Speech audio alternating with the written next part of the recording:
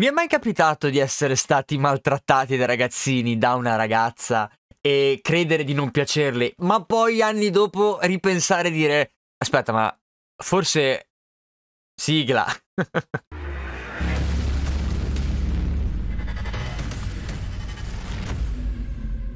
Ciao ragazzi, sono Zergantis e benvenuti in questo anime della domenica, la nostra rubrica dove parliamo di anime e manga della domenica in modo umile, eh, dove vi porto quello che mi piace, le mie impressioni, le condivido con voi perché è una cosa che mi rende molto felice e creiamo sempre una bella discussione qua sotto nei commenti. Oggi, questa volta, vi voglio parlare di un personaggio specifico, Nagatoro. Sapete che l'11 aprile uscirà eh, su Crunchyroll, perché mi chiedete sempre dove guardi i tuoi anime, io ho un abbonamento Crunchyroll che pago e quindi lo guardo lì, che è Don't Toy With Me, Miss Nagatoro. Che poi è, nel manga lo trovate Please Don't Bully Me Nagatoro, mm, in giapponese dovrebbe essere una cosa che non so pronunciare, quindi in italiano per favore non bullizzarmi Nagatoro. È, l'autore Nanashi ed è uscito la prima volta al volume nel 2017, il primo novembre se non sbaglio, e, e rivista, nella rivista Magazine Pocket. È ragazzi una commedia sentimentale slice of life di Target Shonen. Vi farò mh, mm, una discussione un po' veramente super alla larga perché sì il manga c'è ma l'anime non è ancora uscito, uscirà almeno quando esce questo video, il manga non sarà ancora uscito, avrete solo il trailer. E vi parlo di, questo, di questa opera perché la, già su internet avete tantissime fan art, tantissimi collage, tantissime animazioni del personaggio di Nagatoro perché sembrerebbe che appunto i ragazzini e i ragazzi in generale siano impazziti per questo personaggio per vari motivi. Il primo tra tutti il disegno che io trovo bellissimo. A me piace da matti. Infatti penso che in copertina ci sia tipo lei bellissima con quell'occhio psycho e quel, quell'orecchino qua. Nel... Vabbè, ne parleremo di questo. Di che cosa parla in grandissime linee perché chiaramente io non spoiler, non vi faccio spoiler e laddove ci fosse un po' di spoiler vi fermo sempre prima, quindi non temete. Però visto che non è ancora uscito l'anime vi dico in, a grandissime linee.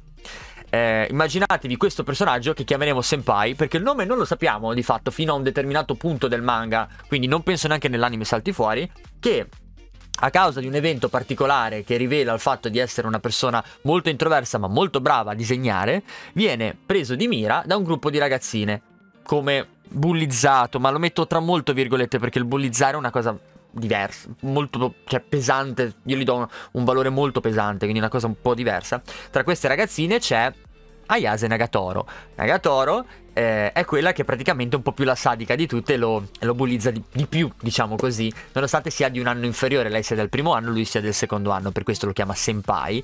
E continua, lo stuzzica, lo stuzzica, lo stuzzica e sembra che lo Sevizi non è proprio così, in verità sembrerebbe appunto che eh, questa cosa sia l'unica cosa che gli avvicini e che sia forse l'unico modo di due persone completamente opposte per interagire tra di loro poiché eh, c'è un interesse.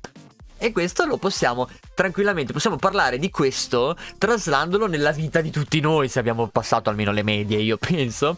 Non vi è mai capitato che da ragazzini, a me è capitato una volta, la verità, che c'era questa ragazza che a me piaceva tanto, però io non riuscivo, a, cioè ragazzi andavo alle medie, capite un po', eh, piccolo Zergantis alle medie non era un cuor di leone, non riuscivo a esprimere tanto bene e lei un po' per possessività e un po' per... Eh, non lo so come dire...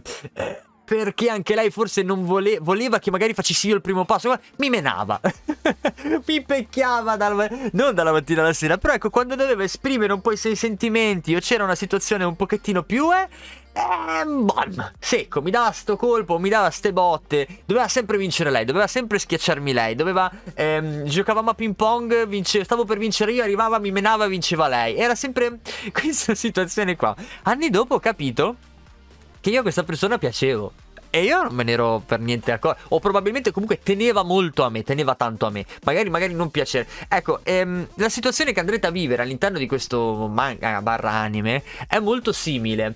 Piena di queste situazioni di apparente maltrattamento, ma che in verità nascondono dei piccoli passetti, dei piccoli progressi in una relazione che purtroppo a causa di difficoltà enormi di comunicazione, per incompatibilità di caratteri probabilmente, va solo in quella direzione lì, in quel modo lì in maniera che vi farà ridere, vi farà un po' cringiare, no? Io vi immagino che leggete, almeno io facevo così, leggevo questo manga, vedevo queste e grignavo, no? Perché dicevo, ma guarda te sti due scemi. Però che fanno queste cose qui. Eh, è un po' una situazione opposta, ma che si unisce con forse un pochettino un fil rouge a um, Teasing Master Takaki-san. Se avete mai visto Takaki-san, eh, ecco, diciamo che è una situazione simile perché abbiamo di nuovo appunto una ragazzina che un po' più furba, un po' più sveglia, un po' più avanti e lui che è un pochettino lì, un becelone, dico sta bocca aperta tipo pesce che continua questa lotta impari che non potrà mai vincere, che determina la sua inferiorità, ma la sua dolcezza che tanto è apprezzata dall'altra parte, ecco. Quindi si potrebbe fare poi un video dove mettiamo un po' a confronto queste due opere, seppur così tanto diverse, ma che ricordano un pochettino quello spirito, quel tempo storico anche scolastico e è una situazione un pochettino divertente. La cosa che eh, a me più ha colpito di eh, Nagatoro è innanzitutto non tanto da quello che ho visto nel trailer e non so se ve lo posso far vedere in qua a schermo ora non vedrò non lo so eh, più dal trailer dell'anime nel manga il disegno di Nagatoro è qualcosa che a me ha lasciato mi piace tantissimo lei. Lei ha quell'espressione che a moltissimi di voi piace un po' psicopatica con l'occhio aperto un po' chiuso sadica con questi canini aguzzi no molto gattina che eh, la rendono secondo me meravigliosa all'interno del disegno del tratto. Io poi non sono un artista però quello che ho visto me è piaciuto tantissimo e non solo a me. Eh, lei poi ha un carattere che, che, mi fa riderissimo, lei è super dinamica, super, eh, super karateka, nuoto, super, però è bassina, è piccola e cattiva, ma in verità è super insicura e non sa come affrontare la sessualità con, eh, con il povero senpai e quindi è un continuo, ah vorresti farmi questo, eh, sfigato, ah vorresti farmi quest'altro, sfigato, quell'altro che la guarda, ma eh, tu da me che cosa vuoi in verità? Eh, diventa una relazione davvero ragazzi di dipendenza, assuefazione di Nagatoro, non ne puoi, non ne puoi più fare a meno non ne può più fare a meno lui.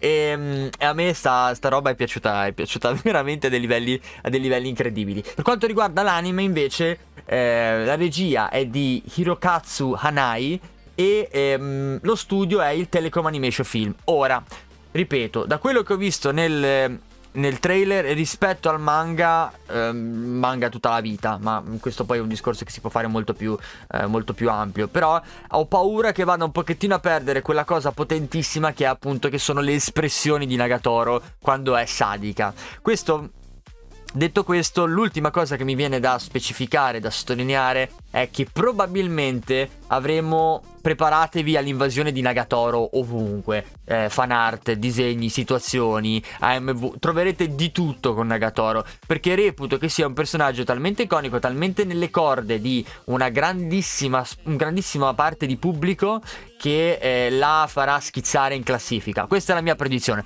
Posso sbagliare, eh, posso probabilmente magari non sarà così, ma io in cuor mio credo che ci ricorderemo tantissimo di Nagatoro anche nel tempo a venire come uno dei personaggi almeno nel 2021 più esaltati in giro come rappresentazione artistica. Io vorrei sapere che cosa ne pensate voi, se avete letto il manga, se avete seguito il trailer e se avete già visto la prima puntata ed è l'11 aprile e siete tornati su questo video, ditemi vi, qual è la vostra impressione sul primo argomento e di che cosa ne pensate. Mi piacerebbe tanto avere una discussione qua sotto riguardo a questo. Per il resto io vi invito a iscrivervi se non l'avete ancora fatto, lasciarmi un like, a seguirmi anche su tutti i miei altri social. Se va bene questo video potremo veramente allora, io non so i numeri perché non sono così esperto da dirvi, ah raggiungiamo almeno 100 la boh, due, facciamo 200 100 like, non lo so, è la prima volta che lo faccio. E facciamo il rapporto tra eh, Don't Toy With Me, Miss Nagatoro e Teasing Master Tagaki-san? Proviamo a fare un rapporto tra queste due opere, sarebbe una cosa divertente. Eh, vi invito anche a seguirmi su eh, Twitch lunedì, mercoledì e venerdì alle, 21, alle 21.30 con Genshin Impact, la domenica alle 21 con il nostro Just Chatting dove parliamo di tutto anche di anime e manga, martedì, mercoledì, eh, martedì, giovedì, uh, sono, eh, ah, cominceremo a streamare a pomeriggio, ora poi vi farò sapere, seguitemi su Instagram per scoprirlo. Vi auguro una buona serata, United State of Zerga. Ciao belli. I'm mesmerized by eyes. I'm so high.